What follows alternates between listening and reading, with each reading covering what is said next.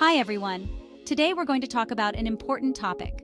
Can fenbendazole cause liver toxicity in humans? Fenbendazole is generally well tolerated, but there have been reports of elevated liver enzymes from its use.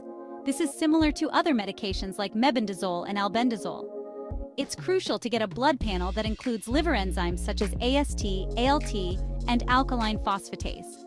Elevated liver enzymes can come from various sources like cancer treatments, alcohol use, certain medications, and cancer itself.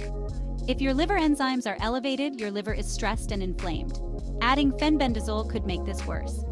If you have elevated liver enzymes, liver metastasis, or liver disease, it's important to work with a health professional familiar with fenbendazole. They can advise you on its use and monitor your lab values.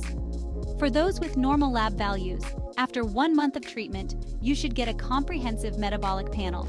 This test checks your liver and kidney functions to ensure you're tolerating fenbendazole well. Heal Navigator offers personalized guidance, education, and lab monitoring through our professional team of integrative oncology nurses.